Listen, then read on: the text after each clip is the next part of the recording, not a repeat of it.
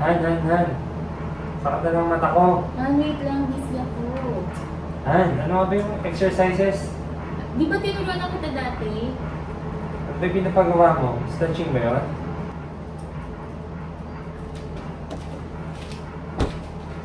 A few moments later. I'm done, Han. Stretching ng mata.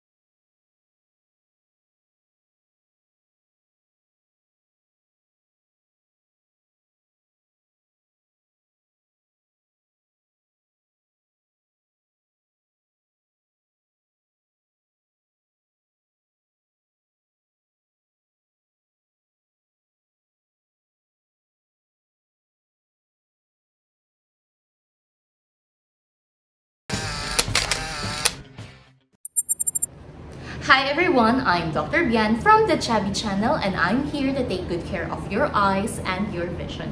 So, staring at your computer screen throughout the day can lead to eye strain, dry eye, sudden blurring of vision at far, or it can even lead to headache, neck, and shoulder pain.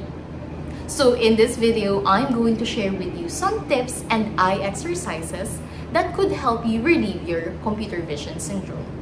So if you're new here to our channel and you want to learn more about the eyes, you want some beauty tips, and you just want to have some fun with us, then please do click the subscribe button down below so you won't miss any of our future videos.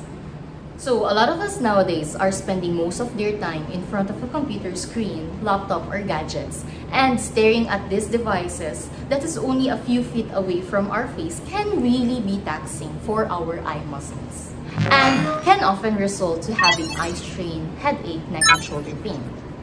So whether you're using your computer for work, for social media, or even for gaming, here are some tips and eye exercises that would help you out.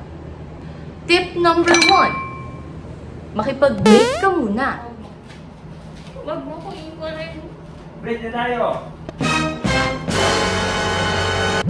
sa computer screen mo. When you're staring at your computer screen for a prolonged period, your eye muscles cramps up and this is what we call as accommodative spasm. When you're looking at near, your eye muscles are more active. So para siyang naka-flex. Di ba yung muscles mo, kapag fina-flex mo siya, nafe-feel mo yung cramp niya. Just like when you're squatting. When you're squatting, the nearer you are to the floor, mas masakit ito para sa legs natin. It goes the same with your eye muscles. So you need to follow the 20-20-20 rule. Maririnig mo ito parate sa aming optometrist that you need to follow this. What is this? This is for every 20 minutes of doing near work, make sure you rest your eyes for at least 20 seconds, then look far away, at least about 20 feet away. Tip number two, makipag-high five ka sa computer screen mo. You want to make sure that your computer screen is about an arm's length away from your face. Adjust your screen position that is for both the height and the distance of your computer screen. You want to make sure that your computer screen is about an arm's length away. That is the same as with the laptop. And you might want to tilt or adjust it so you'll get the slightest glare as possible. As far as the height of the screen, you want your eyes not to be at the top of your screen, but not directly looking in the middle. For most users, having about 3 4 quarters of the way up on the screen is ideal because it allows you to look slightly downwards onto the center, which is more comfortable for your eyes. Adjust your screen to reduce glare coming from your window or indoor light source because it decreases contrast and you'll end up squinting your eyes and yeah, you don't want that. Tip number three, adjust the settings of your computer to make it easier to see. Make the font of your device larger. Another thing, you can adjust the brightness level of your screen. Adjust it to be more bright or dim it down if it seems too harsh for your eyes. Then, you also have this cool feature called the night light or blue light mode.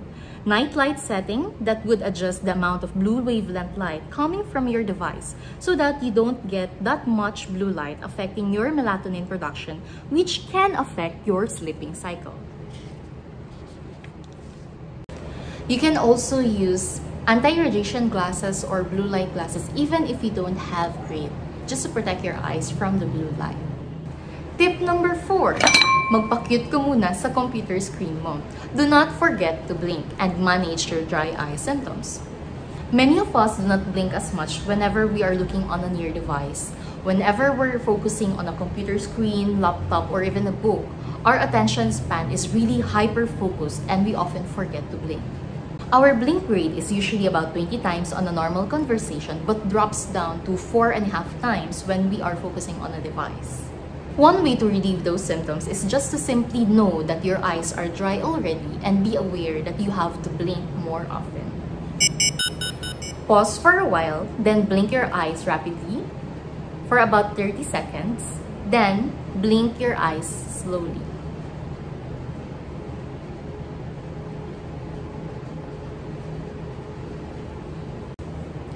Blinking is important as it keeps our eyes properly lubricated. You can also use supplemental eye drops and warm compress if you prefer. Tip number 5. It's exercise time. I'm going to share with you some eye exercises that could help relieve your eye strain. The first exercise is something called cupping. Rub your hands. Heat is gonna help relax the muscles of your eyes. You're going to put the palm of your hand over your eyes. You're not pushing onto your eyes directly, but kind of cupping your eyes, making things look dark. Then you're putting pressure around the bony orbits of your eyes. Do this as a relaxation technique for maybe a minute or so. The next eye exercise is eye direction exercises. That is a matter of looking in different directions of gaze. Look upward, hold it there for 5 seconds. Look down, hold it there for 5 seconds. You can look to the right, look to the left.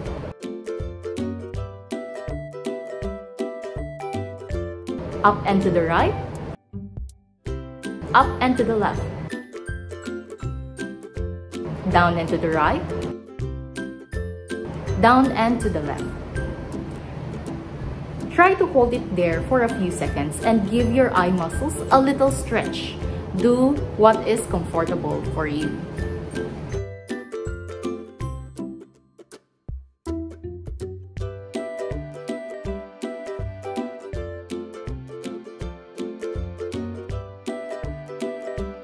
Then, you can follow up from the eye directions into doing the eye roll. Look upward, make a slow rotation of your eyes in a clockwise and in a counterclockwise fashion.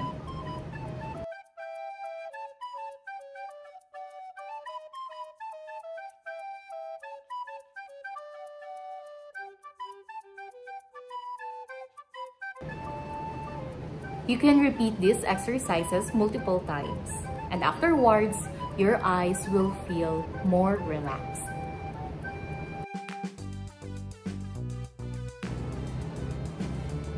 After eye circles, now we can do the eye push-up. Get a pen or something with a pointed tip, hold it at arm's length, then slowly pull it towards your eyes. Focus on the tip for a few seconds, then push it away. Do this for about 10 to 20 times. And if at any point you're having pain or discomfort with any of these exercises, stop then follow up with your local optometrist or eye doctor to make sure your eyes are doing okay.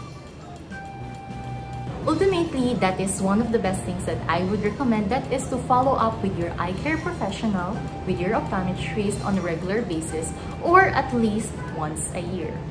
So, I have a question for you today. Which part of this video is your favorite? And do you have any questions regarding your dry eye, eye strain, computer vision syndrome, blue light? If you do, drop it down on the comment section below and I'll answer it for you.